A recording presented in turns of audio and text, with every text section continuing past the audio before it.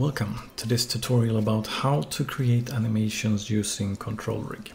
Now I hope that you have watched or at least know about Sequencer and the basics of Control Rig. Uh, if not, I will have some uh, video links to you down below so you just have the basics before this so you're up to speed.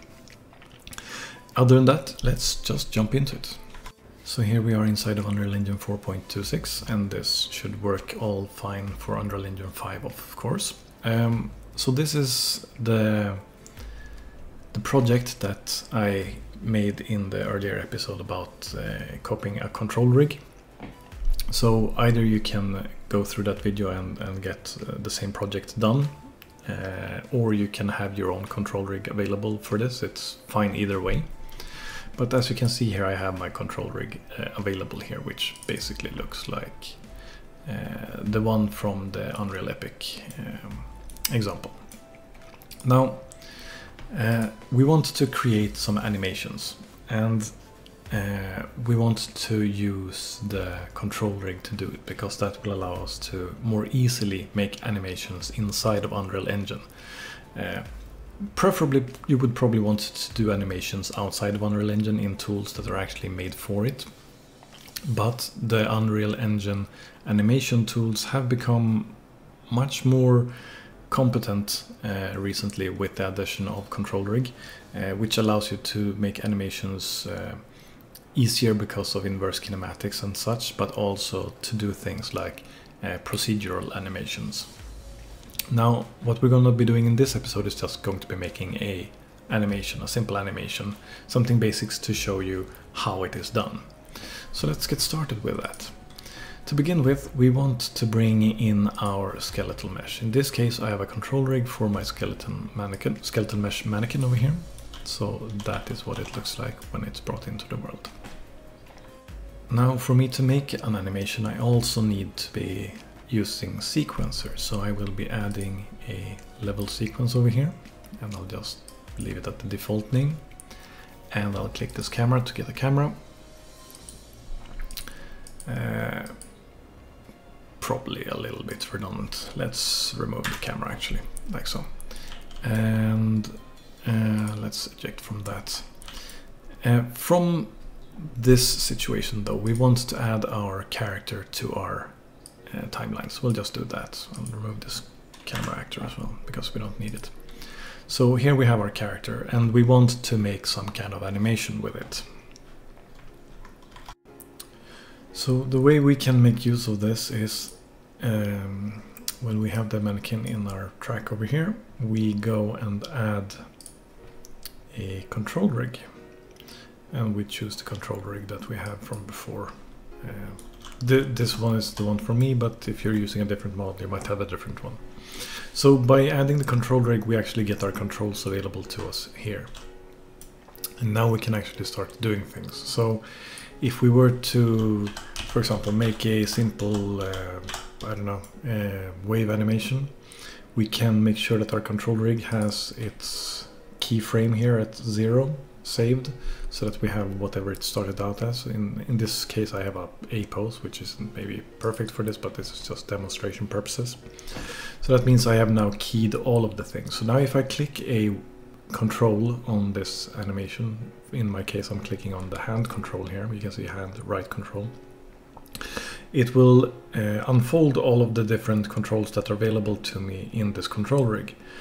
And since I took a, uh, a keyframe in the beginning on the control rig as a whole, that means that all of the different parts have gotten a keyframe uh, set for the, the zero frame here now. So if I were to bring this up to the head and change some rotations looks like it's sort of facing towards someone in the front, something like that. Sort of looks wavy. Ah, mm, my bad. I should have moved. Uh, now I'm still at zero frame here, so if I'm gonna move, it's gonna be reset. Let's move first to the, the frame we actually want. So in this case, 15 here. And then I'm gonna pick my control again. I'm gonna lift it up. I'm gonna be changing the rotation.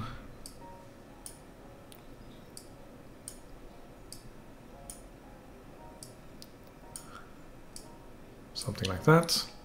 Then I'll put a keyframe at this particular uh, control.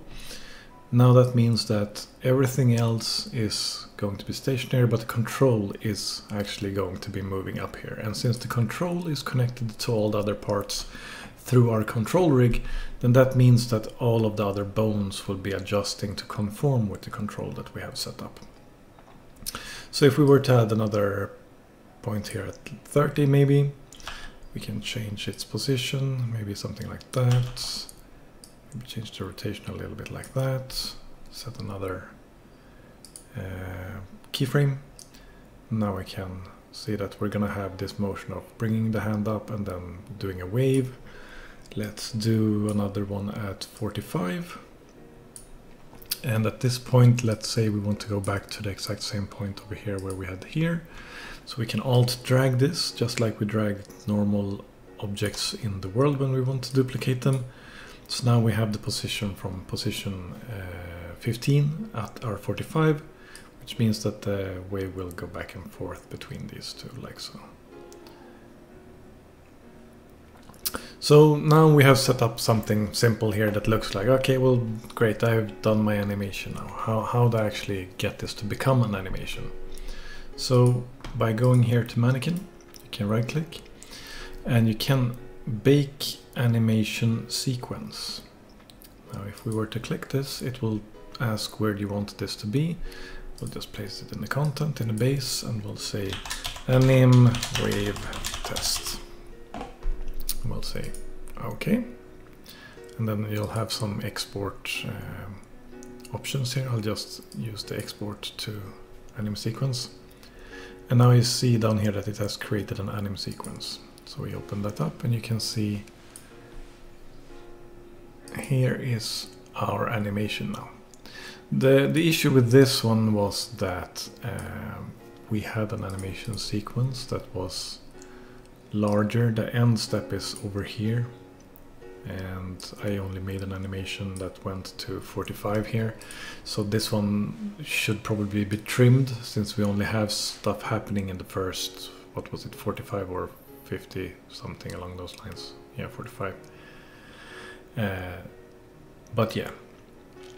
So so that's how you bake it out into an animation. So that means that if we were now to open up our uh, third character blueprint here for example we can go to its um, viewport here and we can actually change saying that instead of showing the animation blueprint it should use an animation asset and we can use our animation test wave and you'll see that it works over there.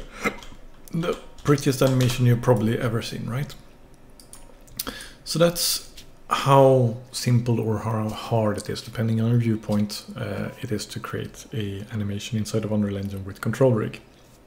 Again, uh, Unreal Engine is probably not the best, but with Control Rig it will be at least easier to make uh, animations um, because of all the controls you have exposed to you. I hope that this made sense.